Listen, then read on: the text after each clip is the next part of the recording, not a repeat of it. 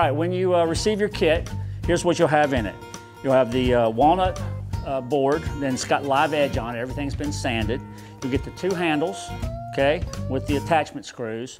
You have a screwdriver at home, we're hoping on that. And then uh, you'll get a small container of the conditioner, all right? And I'm gonna show you how to put the conditioner on first because that is the first step. Just pour a little dollop on there, don't need much, and just rub it in. All right, so that's the back side, the bottom side, or the B side, I'm gonna call it. And then we'll put a little, little drop in the middle. Doesn't take much, folks, just a little bit.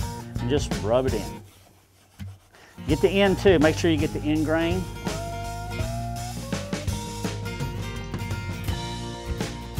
Okay, so now that you've got that finished, I mean, you can start using it right now. But let's put the handles on because that's kind of the, the cool part to this. And I'm gonna go ahead and put my two screws in.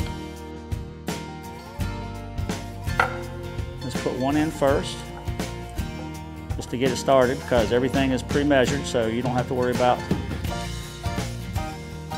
how it lines up. And you just screw it in.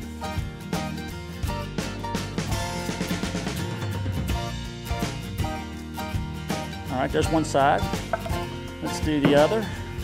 We sell a lot of these uh, these charcuterie boards uh, at Black Dog. Just people love them. It's uh, I think it. Uh, I was in Canada over the holidays, of Christmas holidays, and there was uh, a lot of charcuterie shops. And I think it's uh, cheese and smoked meats is what it is, but it's become quite the quite the rage. We just called them cheese boards, cheese boards when I was growing up. So it's gotten quite sophisticated. But at that point, you just tighten the guys up tight again, just real snug. And this is the fastest DIY project we have uh, to order. So you saw how easy that was, guys. You put the handles on, you put the oil on, you're ready to go. Uh, we're selling these for $75, free shipping, and uh, let me know how many you want.